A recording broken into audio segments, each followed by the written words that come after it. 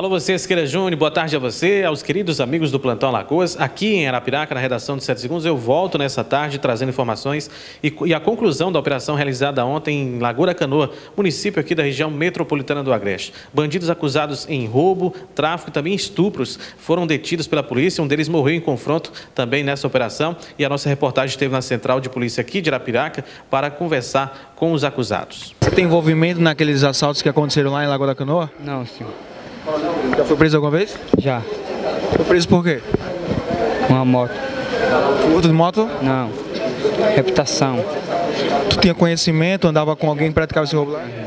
Não quer falar mais nada agora? Não. O que eu já tenho que falar, já falei. Você alega que é inocente diante das acusações? Inocente, sim. Sou inocente, sim. Sou inocente.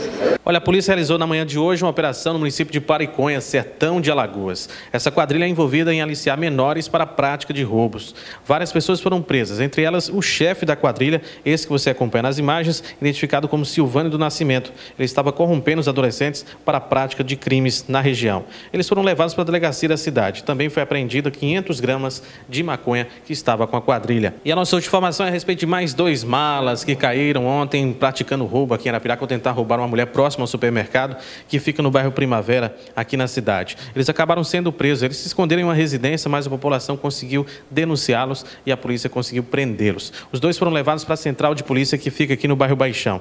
Um de 21 anos, esse que vocês acompanham nas imagens, e um adolescente de 17 anos. Com ele eh, foi encontrado também vários objetos já furtados por esses dois malandros que acabaram caindo ontem em Arapiraca. Essas são as principais informações de hoje aqui dentro do Plantão Alagoas. Para mais é só acessar 7segundos.com.br barra Maceió ou Arapiraca. Agora é com você, Siqueira Júnior.